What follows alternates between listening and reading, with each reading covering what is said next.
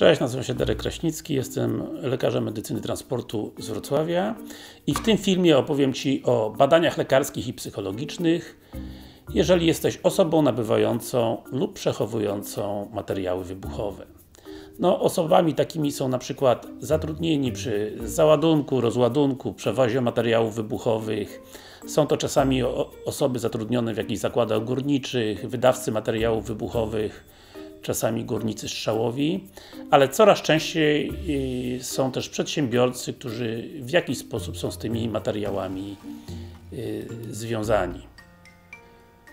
I niestety ta grupa ludzi też jest zobowiązana robić y, pewne badania, ale zacznę tutaj od zapytania internauty. Y, witam, czy wykonują Państwo badania psychologiczne i psychiatryczne dla osób kierujących działalnością gospodarczą w obrocie materiałami wybuchowymi? Wzór zaświadczenia y, w załączeniu.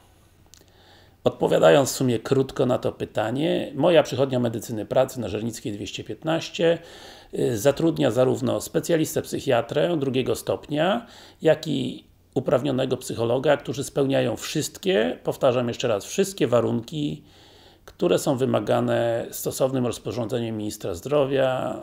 E, to aktualne, o ile się orientuję, z 2003 roku, no ale kto wie, czy się nie zmieni.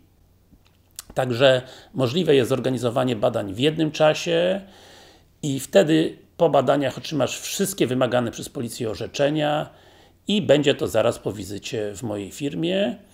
No, nie musisz więc latać od jednej przychodni do drugiej, a wszystko załatwisz od ręki.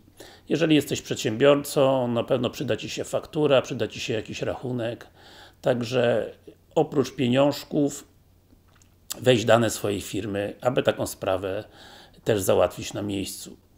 Y, natomiast jeżeli chcesz się dowiedzieć czegoś więcej, chcesz się umówić na badania, najlepiej zadzwoń tutaj pod numer kontaktowy 601 775 123 Powtarzam 601 775 123 Sens ma też wysłanie maila na mojego prywatnego maila lekarzmałpa.krasnicki.pl Powtarzam, lekarzmałpa.krasnicki.pl Y, usługa nie jest zbyt typowa, w sumie tak y, wbrew pozorom osób zajmujących się obrotem materiałami wybuchowymi nie jest zbyt dużo. Jeżeli chcesz jakiejś fachowej odpowiedzi ode mnie, to najlepiej właśnie wyślij tego maila. Y, również te dane kontaktowe mogą Ci posłużyć do rejestracji na wizytę i na umówienie się na jakiś dogodny termin. Mówił Darek Kraśnicki z Wrocławia. Do zobaczenia w moim kolejnym wideo.